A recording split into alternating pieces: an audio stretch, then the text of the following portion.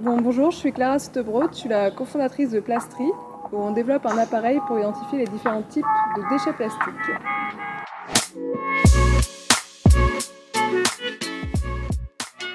C'est un appareil qu'on presse contre, contre, un déchet et qui indique le nom du plastique sur un écran. Ça, ça va être utile pour les centres de tri et les euh, recycleurs qui vont pouvoir euh, soit trier la matière, soit contrôler euh, la nature des matériaux qu'ils mettent dans leur production.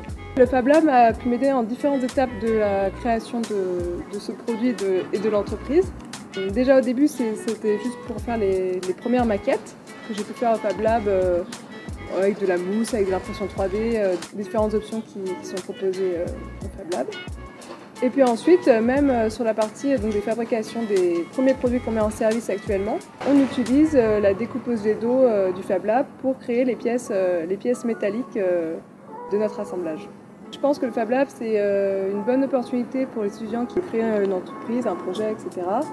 Parce que déjà, bah, on y trouve euh, des ressources de la formation et on peut euh, utiliser différentes machines pour prototyper ces premières solutions, avoir accès à, des infrastructures auxquelles on n'aurait pas accès en, montant une entreprise en tant qu'étudiant.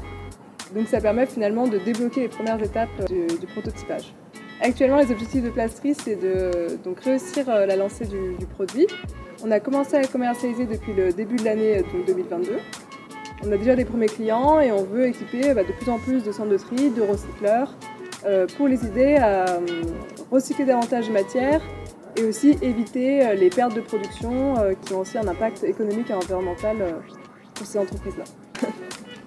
C'est tout bon?